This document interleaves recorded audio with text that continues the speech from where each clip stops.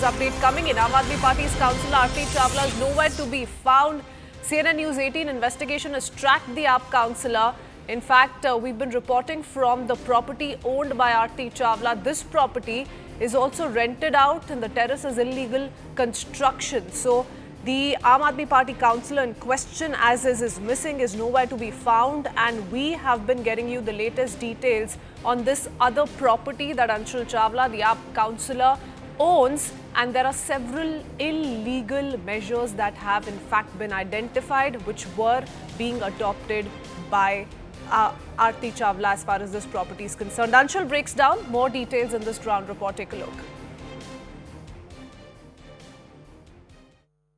Arti Chawla, the councillor for Rajendra area of the Aam Aadmi Party has been missing in action for the last three days since the time this entire incident happened where three uh, aspiring IAS officers had to in, in fact lose their lives due to the laxity that has been shown by the MCD. CNN News 18 is trying to track down the councillor who was last seen on Twitter putting a post where she had mentioned that she is in fact motivating the workers to clean the drains out here in this entire area.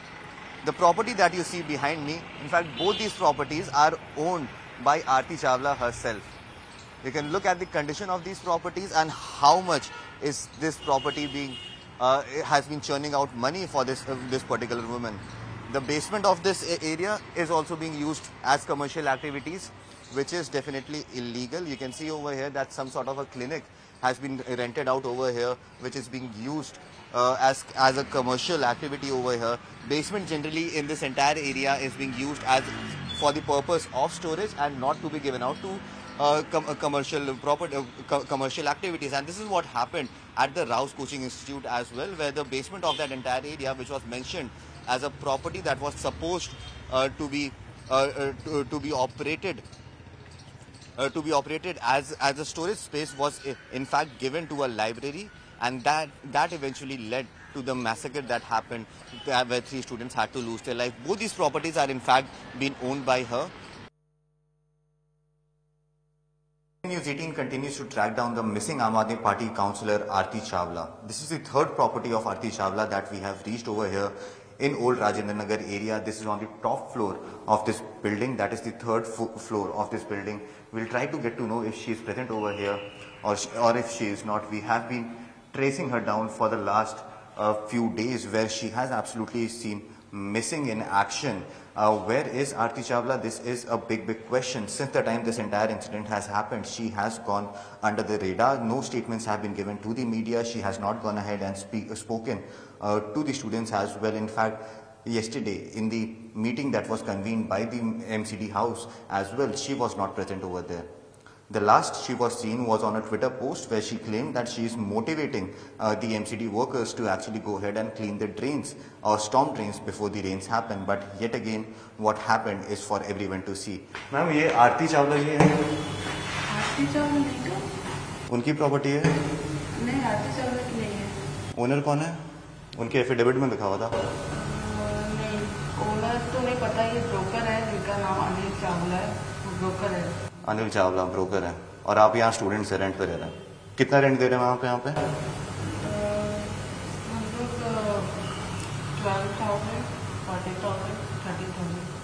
Approximately forty thousand rupees तो ये rent पर है ठीक है। So as you heard that this property has been rented out by her approximately forty thousand rupees of rent is been collected from here and this is yet again on the fourth floor of a building Let me now go across to my colleague Anshul joining us live with more details. Anshul, you know, you're getting us details from two properties owned by the Aam Aadmi Party councillor. One of the properties is just 500 meters away from the IS coaching center where this unfortunate tragedy in fact took place. The Aam Aadmi Party councillor is nowhere to be found, but these are several other lapses that have come to the fore with regards to pro properties owned by her. Break down details of both these properties and how this once again raises several questions that the Aam Aadmi Party must come out and answer. Uh, well, this is a clear case of massive corruption that is happening out here uh, in the Rajendra Nagar area. The councillor herself has uh, has actually owned three properties in this entire area, and all these properties are not being uh, claim that we know it, it, it is something that has been mentioned in her affidavit when she actually went ahead and uh, fought the elections for the councillors uh, in uh, for the MCD elections in the year 2022. Now these three properties that are out here in the Rajendra Nagar area, all of them have illegal constructions that have been made on them, starting from the first property that we visited yesterday, which is approximately 500 meters away from this location at which I am standing, that is ground zero, uh, where the entire incident happened.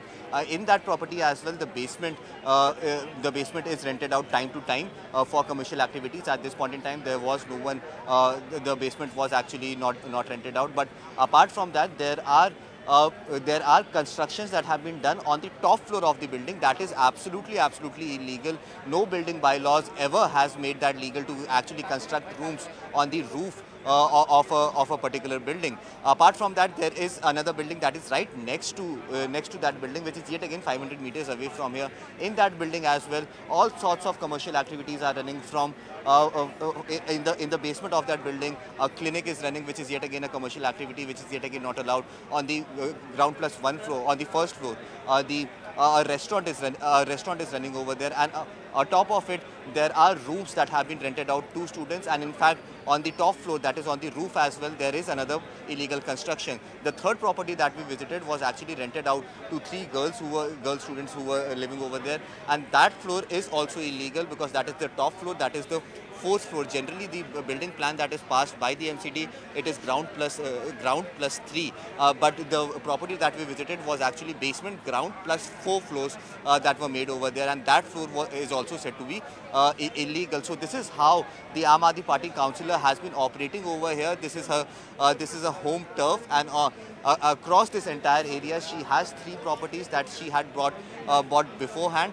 and all these properties have illegal constructions in them. This actually narrates the entire fact that how much corruption is prevalent in this entire area, and it is because of this corruption that the situation in this entire area is somewhat like uh, somewhat like this. We have been showing this to our viewers for the past three days, and there still has been no action that has been taken by the MCD to actually uh, clear the mud over here so that waterlogging does not happen. You can uh, you can see the condition uh, in which this entire area is. The councillor lives just 500 meters away from here. There is ma massive waterlogging happens that eh, day in and day out uh, in this entire area. Still no action has been taken by her. Where is Arti Chawla? Her whereabouts are still unknown. We still do not have any idea where could Arti Chawla be at this point in time. We have tried to contact her. We have visited her properties out here in the National Capital area. In all those properties, those properties have been rented out. In fact, in her affidavit, the permanent address that she had written, that she was not found over there. In fact, that place has been rented out to students uh, yet again. So uh, where is Arti Chawla? How much money is she actually churning out by illegally uh, renting out her places? Uh, this is a big, big question. We are still trying to uh, track her down. There is absolutely no clue uh, where Arti Chawla could be, if at all she is in India or if she is not in India. This is also something that has not been cleared either from the side of the Aam Aadmi party and definitely not from the side of the councillor herself.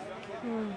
You know what's interesting is, and why this is also worrying at the same time, is that the three UPSC aspirants who lost their lives to that unfortunate flooding tragedy at the basement of, you know, the coaching institute in Rajendra Nagar, the entire library was operating out of the basement, which was illegal in the first place. And both these properties owned by Arti Chawla, you're telling us there are certain other activities that are going on in the basement. Anshul, can you tell us a little bit about, you know, the manner in which the basement of both these properties is being used illegally by the AAP councillor who's missing?